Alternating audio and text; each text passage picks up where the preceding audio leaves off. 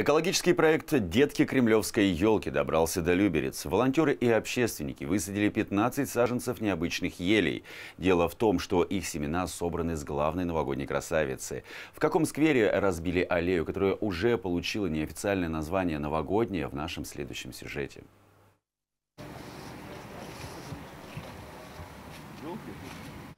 Три года саженцы бережно выращивали в питомнике, а семена взяли от главной новогодней елки страны. Возле нее дети и взрослые встречали 2017 год, который в нашей стране был объявлен годом экологии.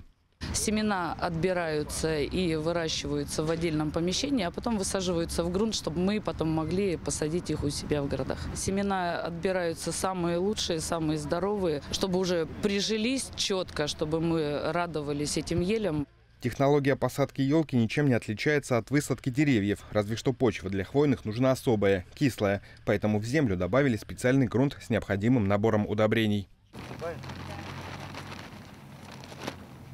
С момента старта проекта саженцы ели уже высадили во многих городах нашей страны. Теперь и в Люберцах есть своя аллея. Ее разбили у памятника героям революции 1905 года грамотно их посадим и э, впоследствии обещаем контроль и уход за этими э, новыми гостями в нашем округе.